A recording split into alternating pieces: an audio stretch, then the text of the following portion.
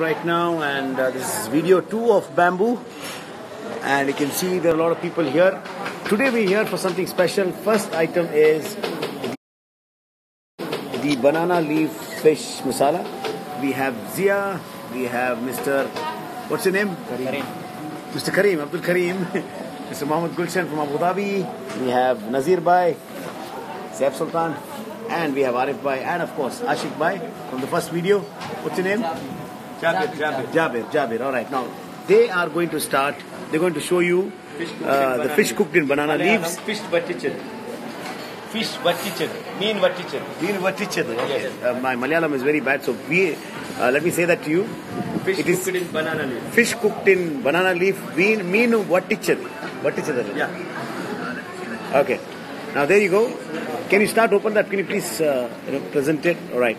Now this is in banana leaf uh, fish masala, and uh, they use the kingfish. We call it anjal, or in uh, Ma- Malayalam it's aikura. Aikura? Aikura. Yeah. So kingfish is being used. Now there you go, ladies and gentlemen, boys and girls, kids of all ages, introducing the banana leaf fish masala. All right, there you go. There's no much light here. I wish we had more light like last time. Unfortunately, can somebody open their flashlight, please? Flashlight. Ah, okay. There you go.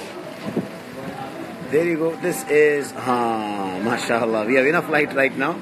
So this is the banana leaf uh, masala. We al- also ordered the uh, we have also ordered the kalumakai or the uh, mussels biryani. Uh, it's in the bamboo itself, inshallah. So we're going to get that. So the second video, I wish they get. Is it coming uh, very soon? It will take uh, two to three minutes. Three minutes more. So we're going to come back live again for another video. All right. Assalamu alaikum, and please come to bamboo.